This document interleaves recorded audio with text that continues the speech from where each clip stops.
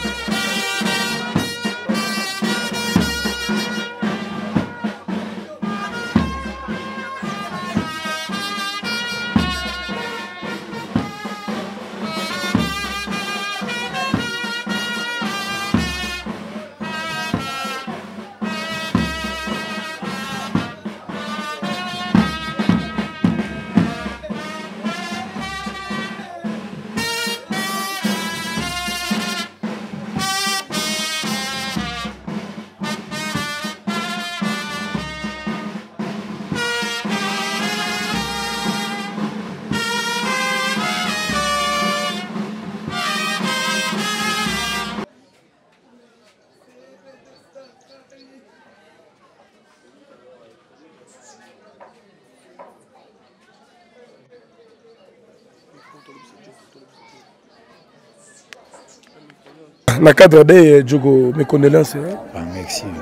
bato bata biso na poto bato baza mwa ebele afa aza na poto famille mosu na poto oyo akufi aza nani aza mama mama na ngai oyo aboti ngai mama aboti yo nkombo identité na eza nini alphonsine nitu mama alphonsine nitu abelaki ezalaki mort subite to abelaki trois jours trois jours seulement vendredi samedi dimanche lundi na 4 heures akufi mama akufi na age nini 68 ans atiki bino boza ebele quand même misato misato alors famille eza na poto okoyebisa bango nini nayebisa bango kaka bazala makasi nzambe napesaka ye ndazwi hmm. toza na eloko ya kosala te nzambe nde akordaki mama kende tozalaki na ye soki alingaki te hmm. alingaka azala donc eloko totikali na yango eza tosala oyo ye alobaki mpe totambola selo maloba oyo eza ya nzela nzela malamu oyo abandaki koteya ntango nyonso nde libota ekoki kotambola nango oyo bakoki retenir yango wana atikaki testament atikaki maloba mabe to ndenge te atiki maloba mabe te atiki maloba malamu abaye bosala neti nini parce que mosusu bamosusu bakocomprendre mpe bien te kotosaka oyo ya bandai kolinga ah. bolingo kolanda banzela mabe te kosala makambo oyo mokili elingi te hmm. kotosa maloba nzambe kotambola selon droiture hmm. na vie nde esaliki awumela mwa ntango na mokili voilà merci beaucoup djogo nous sommes là tozokende enterrement euh, donc euh, force à la famille nous sommes de cœur avec vous merci beaucoup djogo ah, merci, merci. merci.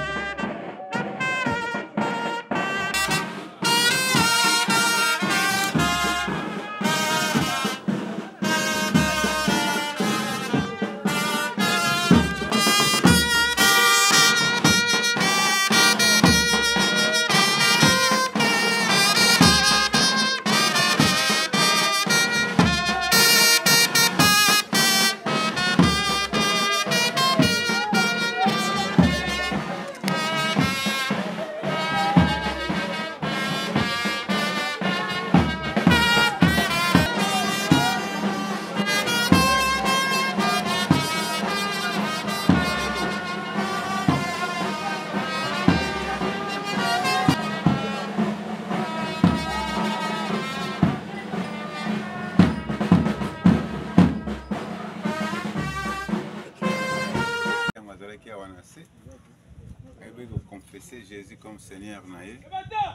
C'est ça la clé pour naître de nouveau. nde eloko eko konsole biso kutu oyebake na mikolo kristo akozonga ekozala na elongo tolobi kaka na biso bandeko bato otikali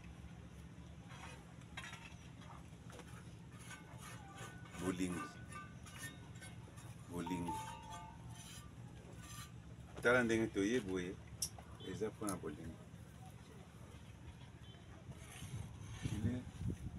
très important ya kosalisa ntango moto aza vivant moto aza vivant oyoki moninga azwi likambo aza na mpasi tosalisani tobengani tosalisani boye eza une perte ya famille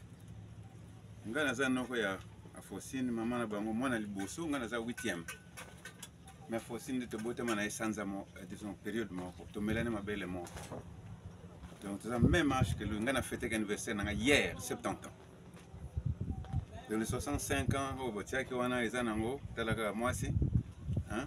ntango ozosala ozodimina no bambola mpe mpo na mosala e omonanaka mpe mwa nini mais elle a fait son temps 70 ans donc na biso tolanda modele na ye